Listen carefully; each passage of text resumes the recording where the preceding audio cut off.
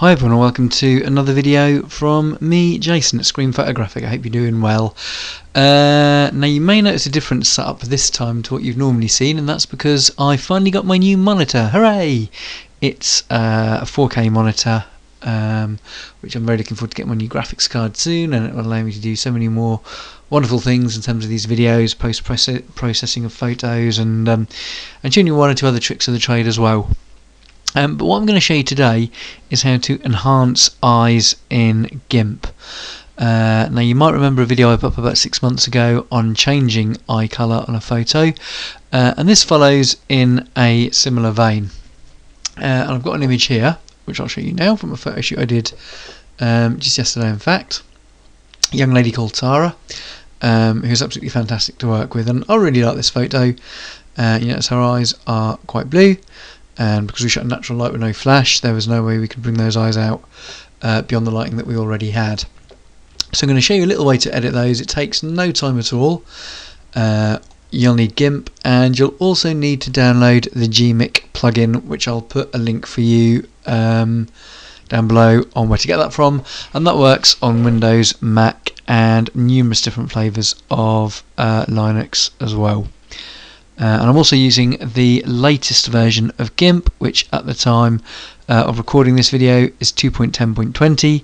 You may well have a different version with one or two different features um, by the time you come around to um, edit this video, uh, or edit these photos I should say. So, let's go and open our image. Now I've got mine saved on the desktop, so we'll quickly grab that image of Tara here.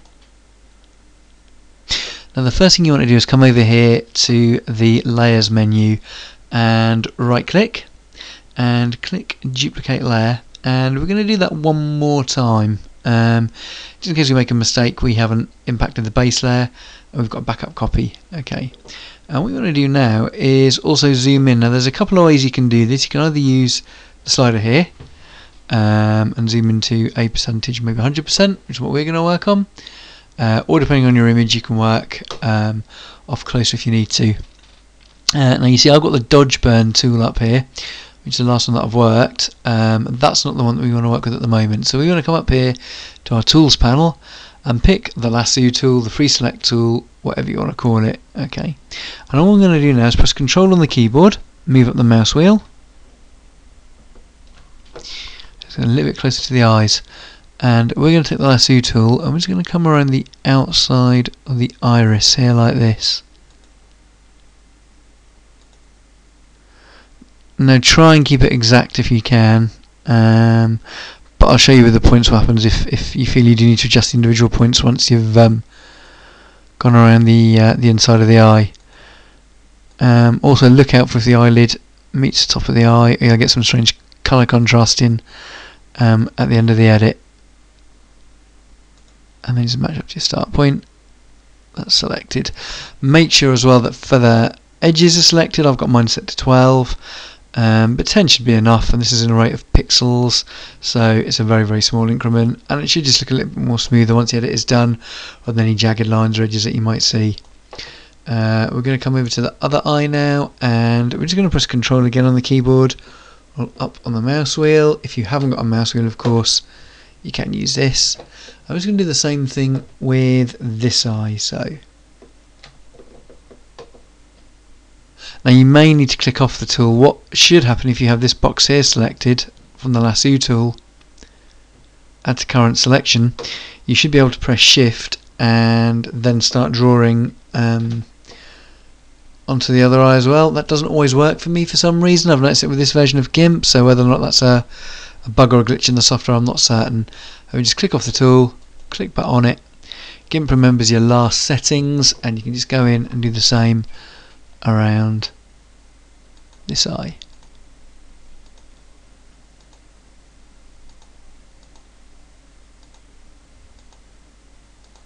Remember, if you do need an image, you can get lots of stock images off places like pexels.com. Um, try and credit the person who took the image if indeed it tells you. Some of the free stock sites don't do that. Um, but you want you want an image maybe with darker eyes. If you search for dark eyes or, or unedited eyes, um, then you should find a decent image. So let's press Control again, and let's roll the mouse wheel the other way. Okay, now what you'll see is a selection with the points that we've just made on both eyes. Uh, and these could be adjusted if you needed to change onto the other eye, you simply click and you could do that. But we don't need to change any of these points. What we're going to do now is come up to Edit, click Copy, or you could press Ctrl and C, and Edit, click Paste. And that's made a floating selection. So what that's essentially done is made a copy of the layer for you to work in. Now, it won't affect any of these layers underneath it. You're working purely off a traced copy of those eyes layers. So you really can't make any mistakes to anything else. Um, and what you see as we go along, we'll turn this layer off. And just as we go along how it will impact the eyes uh, on making the edit. So once you've done that, you've got a number of different controls up here at the top. Um, don't worry too much about them. You should have colours enabled by default. And if you go into tone mapping, you can go to Reinhard 2005. That makes the eyes blown and, and look a little bit strange if you like, Children of the Corn like. But with these sliders here, you can change your settings. So I'd always recommend you have your uh, chromatic adaptation right to the top. Now your brightness you want to push down, but not too much. Um, obviously, the further down you go, the darker the eyes will become. It'll kind of impact what you're doing. I'm going to go to about 0.60 on this one. Uh, and your light adaptation you want to bring down as well. You want to get this close to the natural colour of the eyes as you can. Um, now you can slide down by holding and clicking until this large arrow appears and make adjustments to where you want to go to. So we're going to come here about 0.412. I think that looks pretty good. There's a preview, turn it off. Preview, turn on with our settings just made. Let's push it up just a little bit more. Say 450, shall we? I think that's going to look pretty good. Yeah, I'm happy with that. So click OK. Okay, now you'll see now, um, you might not be able to see it so clearly unless I zoom in, so I'll do that for you now.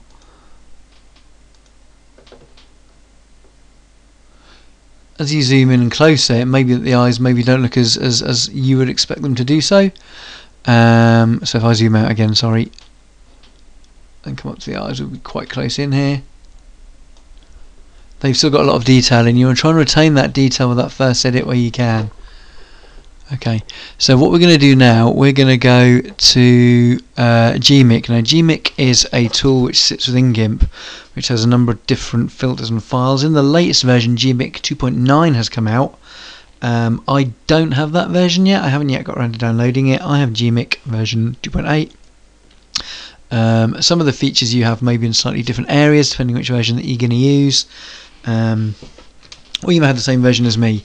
Uh, again, I'll put the website you can get it from. It's quite easy software to install, and there's lots and lots of cool things. Some of those um, light techniques and sort of shifting patterns of light, adding things like fog to an image or you know, sun rays, things like that. That can all be done through here as well, just at the click of a button uh, with sliders that you can change. Um, but what we're going to do, we're going to go into the details panel, which is here, but halfway down and there's a number of different tools you can see which all do different things to the image depending what you want to do. Um, and some will just affect the eye some will affect all of the face. Um, high pass freaky details which we'll come on to in a bit. We want to equalize local histograms. Um, and the strength slider you can push kind of whichever way you want. Um, I'm going to set this to about 85 85 and we're going to hit apply. And we're going to come into freaky details to, to make the eyes pop just a little bit more. Um, you could push the scale if you wanted the amplitude.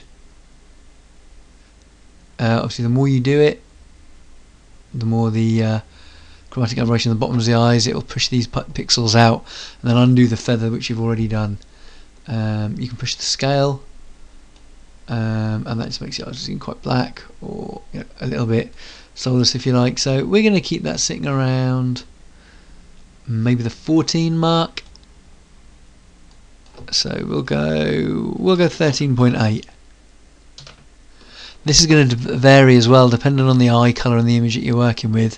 These settings won't be the same, so experiment and, and kind of kind of play with them with your settings and, and look see what looks right for you without making the eyes look too um, pixelated or, or, look too grainy. Um, now what we want to do, the last edit in this section is come down to sharpen tones and hit apply on there as well. So these eyes are looking, they look a little bit strange here, but when you see them in the context of the picture, they'll look pretty good. Um, and finally, you need to come up to colours. Click the drop down arrow, go across to um, colour presets, which is here. Uh, and this brings up a, um, so Lutify LUTs, um, different artistic styles of colour, um, and depending on what you're creating in GIMP, um, will depend on how you use it. I mean, Lutify Me, you've probably seen LUTs already um, in my Darktable videos. If you're a filmmaker, you'll be familiar with all of these, um, and I believe you can transfer them between Photoshop and GIMP. Uh, and there's lots and lots of websites you can get free LUTs as well, which you can install into your software um, with a little bit of technical know-how.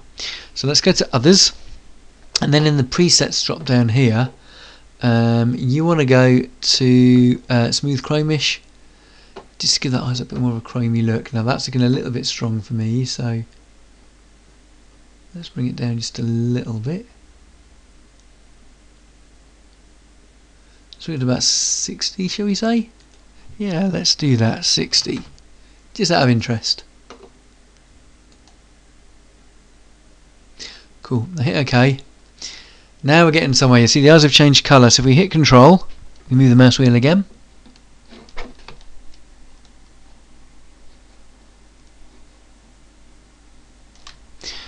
You see the difference in the eyes if I turn off the original layer to this layer. They're looking pretty good already, but we haven't quite finished.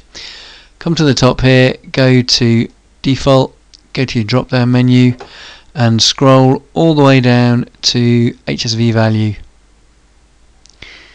and just reduce the opacity just slightly. I'm going to come down not by much at all to about 75. See how that looks. Then you can anchor your layer down to make it a proper layer and there you have some pretty cool enhanced eyes for an image that you're working on. Now you may not be done of course, you may remember at the start I had the dodge burn tool selected. Um, and it's quite simple. Again if you um, mouse wheel in, use your selection arrow, let's go in at say 66% you can use a dodge burn tool, you want to dodge for the highlights with a fairly small brush. Um, let's go for the smallest fuzziness. And you can just brush in and just whiten these eyes up just a little bit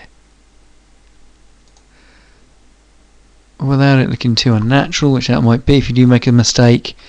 It's control Z on the keyboard the longer you keep your finger on the mouse button and roll. The harsher the effect will be so I advise small incremental clicks. And you can zoom right out. Let's go 50% looking good. Let's go at 25% eyes maybe not looking so great when compared. Um, don't look too bad. You could control Z if you weren't happy with any of the edits that you'd made with the um, dodge burn brush there we go that's looking a bit better now isn't it so that's our edited layer that's our backup layer this is our base layer. These two are exactly the same, hopefully, if you haven't edited any of them. And that is how you enhance eyes quite quickly, in less than 5 minutes, on GIMP. I will see you in the next video. You will look after yourselves. Take care.